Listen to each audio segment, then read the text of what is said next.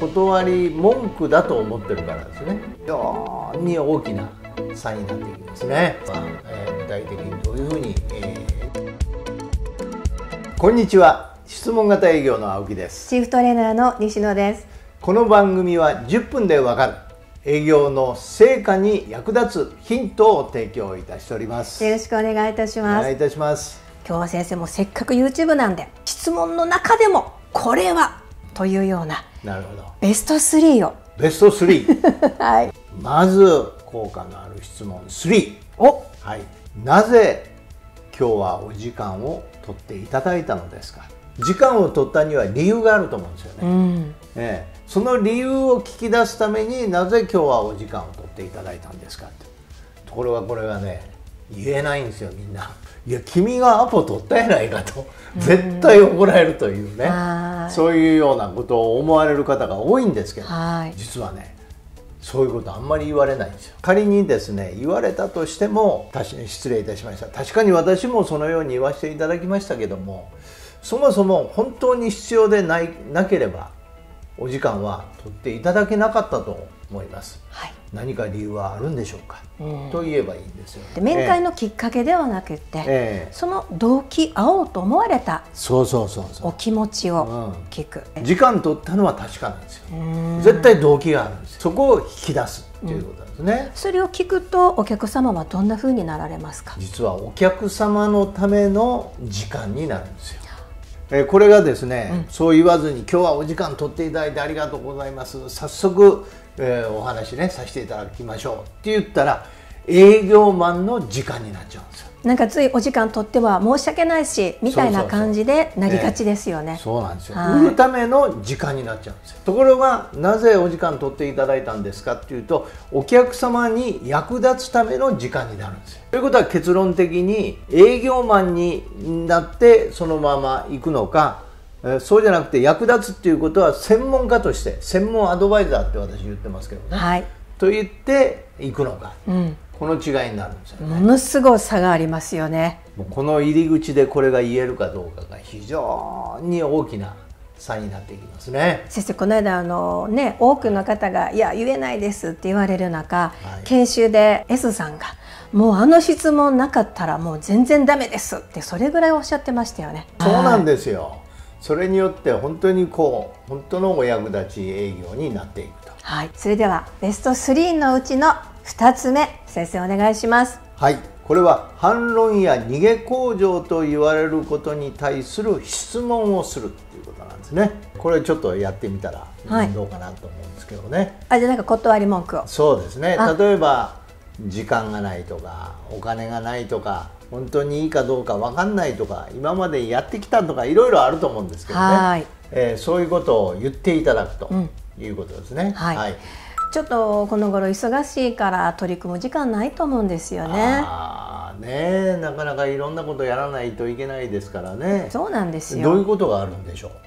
え？って感じですか？そうなんです。それを真摯に受け止めて、その人の理由をしっかり聞いてあげる。つまり気遣ってあげる。あー大変ですからねって。あどんなことあるんですか？って先生あの断り文句に対してはね、ええ。割と多くの方があのしつこいと思われないようにスッと引こうって思われてる方多いかなと思うんですが、ええ。そのあたりちょっとお話しください。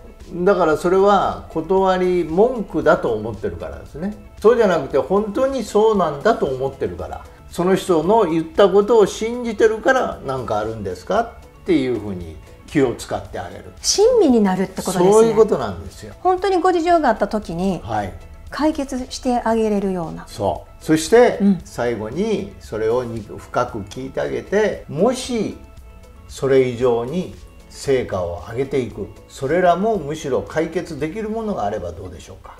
そういいですよね。そこなんです なりますよね。だから何かあるんですかって深く聞いてあげてじゃあもしそれらが解決できる。方法があればどうですか、なんかつい教えて教えてっていうふうに。というのがベスト2なんですね。いやーすごい。それではベスト3のうちの3つ目お願いいたします。3つ目はということはどのように感じられますでしょうかこれどういうシーンで使うんでしょうこれは最後のクロージングですね、うん。いろんな話をさせていただいて、ん。その方もなるほどなるほどとこう納得もいただくはい。そういう中で最後の場面で、どういうふうに踏み込んでいいか分かんない。最後の一歩が。そうなんですよ、その時にもうずっと納得をしていただいてるわけですから、ええ。ということはどのように感じていただいてるんでしょうかと。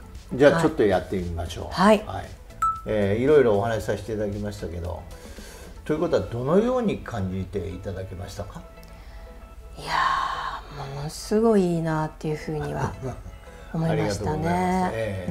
ということはうんどういうところがいいでしょうか、やっぱすごいこれ取り入れると時間短縮うん、になるなって。ああ嬉しいですね。効率が上がるよね。いやよくご理解いただいてると思いますよ。はい。ええ。じゃということはどういうふうにしていけばいいっていう？まあこれ早く取り入れて、ええちょっともう業績アップにつなげていきたいなっていう気持ちですね。ああありがとうございます嬉しいですね。じゃあ具体的に進めさせていただきましょうかね。そうですね。はい。という具合ですね。ああもうクロージングのね、はい。はいはいはい。ででも自分が言ったって感じですもんね。そういうことなんですよ、ええ。自分が思い、はい。自分が考え、うん。自分で決めていく。確かに。ということなんですね。なんか最後営業さんに押し切られたって感じじゃなくて。そういうことなんですよ。うんうんうん。えーこれが3つ目に重要な、えー質問。ということになります。すごい先生深かったですね改めてまとめてもう一回ご紹介ください、はい、わかりました。第1、なぜお時間を取っていただいたのでしょうか？もうこれきっかけじゃなくってはい、お客様の動機をこれはぜひアプローチではい。スタートの時に使っていただく。そうすると立場が変わってお客様のために時間を使う、はい。専門アドバイザーになるなれるっていうことですね。重要な質問でした、はい、2つ目反論対処法にぜひね何か言われましたらなぜそのように言われるのでしょうか。相手の理由をしっかりと聞いてじゃあもしそれらも解決できる方法であればどうでしょうかということですね。なんか反論言われた時に、はい。ああまたダメやってなんかこううろたえたりするんじゃなくって、はい。もうここぞとばかりに落ち着いて。そうです。はい理由を聞いてあげて、そうなぜそのように言われるんですかと最後にじゃあもしということで切り返す質問ということですね。それでは3つ目。最後のクロージングで使っていただきたい。今までのお話を聞かれてどのように感じられますか？最後営業さんが詰めてクロージングするんじゃなくって、はいね。お客様ご自ね身で、それで何か言っていただいたらということは、えー具体的にどういうふうに、えーね、お考えでございますか。と,、えーということは進めていこうという感じですか。と,、うん。というようなことですね。はい。はい。ぜひ皆様使ってみてくださいいかがでございましたでしょうか？この番組ぜひとも役立てていただきたいと思いますが、えーさらにですねもっと現場で役立てたいという方にはこちら。はい。入門編初めての質問型営業という Zoom で開催している2時間の講座がございます。先生この間受講された方にね、本でしっかり読んでたんだけども、はい。今一つこう使い切れてなかったのがあ入門編の中ではロープでありますでしょ。そうですね。あれをやることによってものすごく分かりました。もう即使えますって。ああよかったですね。自分でやってみないと分かんないからね。そうなんですよね、はい。であのお客様役を皆様にはしていただきますのでむしろねこれはお客様役のが実感するんですよ。ね。ええ、ああこういうお客様が気持ちになるのかということが分かるだけで言い方ややり方が変わっちゃうね。はい、ぜひ概要欄に URL を貼り付けてございますので、ぜひご覧ください。ありがとうございました